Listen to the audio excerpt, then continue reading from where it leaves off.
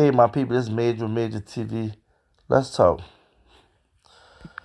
There is a disturbing story that, that leaked out um, several days ago about an 18 year old black man by the name of Omari Bryant found hanging from Hotel Homerville, Georgia.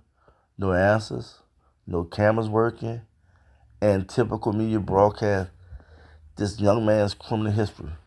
We are very, very saddened that another black life is lost. Condolences family. I will keep you updated as more facts come out. I'm really taken aback by this. That another black man is found hanging.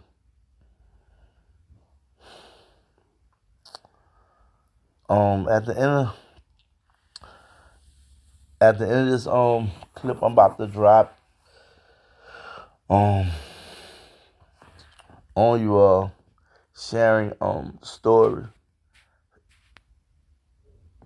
They will show a graphic picture of Omari um hanging from the hotel balcony with his feet touching the ground leaning. Um, it will be graphic for some people, you know. Um you may not want to see this, but um I'm about to play it um um most of the coverage of it and um it, it, it's just sad. Covering South Georgia now, a disturbing investigation underway in Clinch County where an 18-year-old was found hanging outside of a motel in Homerville. The community shaken up after a photo showing it all started circulating online. We've chosen not to show that photo, but our Amber Spradley brings us reaction from residents there.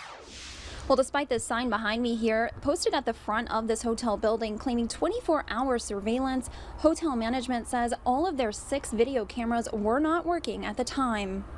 Homerville police officers responded to Southern Pines Inn around 7 Saturday morning to find 18-year-old Omari Bryant hanging from the front of the building. It hadn't been determined whether it's suicide or a homicide at this point, and that's why they are investigating. The city's attorney Jeff Helm says the Homerville Police Department's Criminal Investigation Division is working the case. The GBI saying it's not assisting. The city and whoever else is involved in the investigation will do the best job they can to get answers. I was asleep. My daddy came in the room here like some boy, sci-fi boy hanging up there the roof, and I ain't think nothing of it. Friends Farron Cooper and Octavius Butler were classmates with Bryant at Clinch County High. They say they don't believe he would take his own life. I think it's something behind the scene about this. Jocelyn Walker says she grew up with Bryant, and the two were best friends. He wasn't somebody that would do something like this and put himself on display. He wouldn't want nobody looking at him. According to police documents, Bryant was arrested by the Clinch County Sheriff's Office last Monday for stabbing two people. While they survived, he faced three felony charges, but was released just three days before his death. Bryant's body has since been taken to the GBI crime lab in Pooler for an autopsy. Now, the city is awaiting results from that autopsy.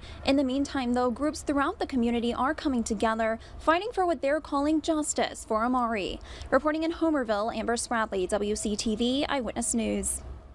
And anyone with information surrounding Bryant's death is asked to call Homerville PD. You can find that number on our website, WCTV.